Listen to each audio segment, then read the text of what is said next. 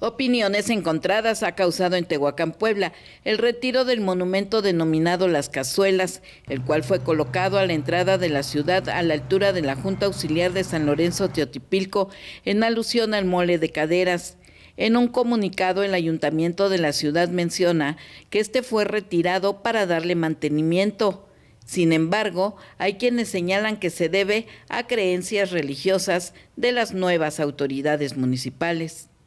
Híjole, digo, la verdad es que es penoso cómo sucede lo que siempre ha sucedido en otras épocas, donde se hace un desperdicio de recursos, donde ya se hizo un monumento, donde vemos que también en el Luis Morelos se retiraron los chivos, algo artístico de cierta forma. El arte como tal no puede ser compartido para todos, hay gustos.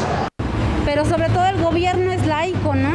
El gobierno debe de permanecer laico siempre y si se habla o no de alguna postura eh, religiosa, pues creo que todos teniendo un cargo político debemos de hacer a un lado esa situación y olvidarnos y trabajar por un mejor Tehuacán. Pues yo pienso que está mal, ¿no? Porque pues estaba bien ahí, ¿no? Yo creo que si lo pusieron, pues lo pusieron por algo y pues para que lo hayan quitado, pues como que nada más fue dinero mal invertido. No sé si, si sea por tanto por la religión de, del presidente y eso, pero yo siento que las religiones no tienen nada que ver.